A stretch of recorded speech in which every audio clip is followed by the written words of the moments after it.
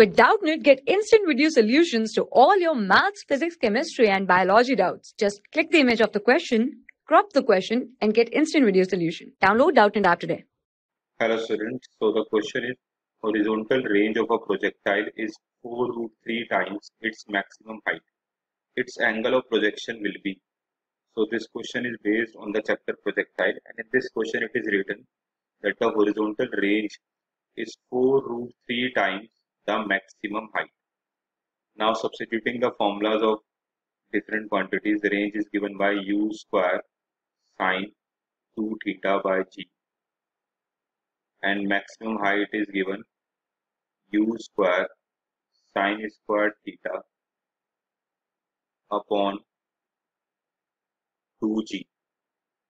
Now in solving cancelling g with g, u square with u square.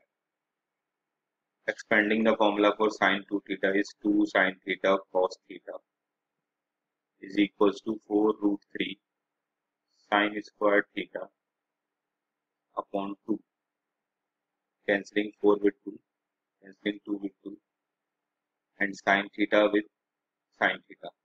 So we get we get here cos theta is equals to root 3 sine that means tan theta is equals to 1 by root 3 this implies that theta will be 30 degree so that is the answer. I hope that answers your question. Thank you.